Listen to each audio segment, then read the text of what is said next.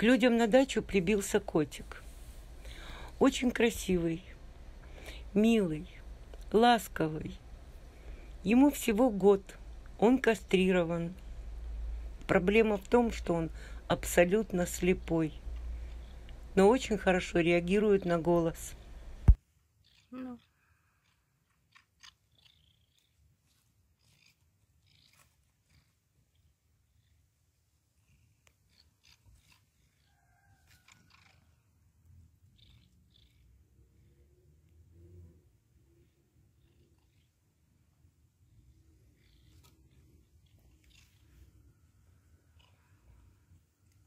Мурчишь.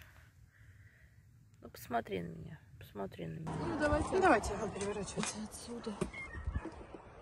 Феликс, мальчик, Малыш. мальчик, иди сюда. Феликс, Феликс, Феликс. Да ты мой хороший. Он видит, да, тени? Он вообще не видит. Ртом дышит. Врач, Вообще не видит, думаете? она, он даже тень не видит. Она смотрела в Мгм. глаза, он совсем слепой. Он голос очень хорошо знает. И плюс лейкоз у него. Да. Ну, лейкоз. После посещения клиники выяснилось, что у него еще и лейкоз.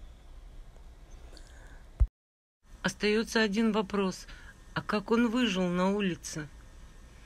Слепой, с лейкозом, кастрирован. Где он жил целый год? Может, потерялся?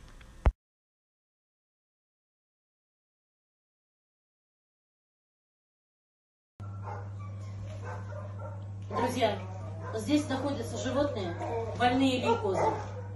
А, Те, кого мы сдали дважды анализы, и он подтвердился.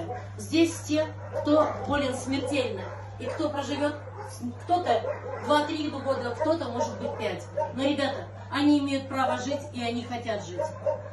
Мы не знаем, почему раньше этого не было, но сейчас все больше кошек, подобранных нами, являются зараженными лейкозом и больные лейкозом, и носители лейкоза. Ребята, тот, кто выпускает ваших кошек на свободный выгул, помните о том, что они могут заразиться лейкозом. Если вы любите свою кошку, не выпускайте ее на свободный выгул.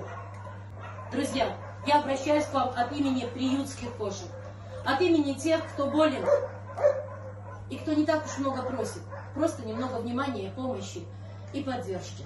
Друзья, если вы немножечко любите кошек, хоть немного, помогите им, пожалуйста. Они имеют право на жизнь.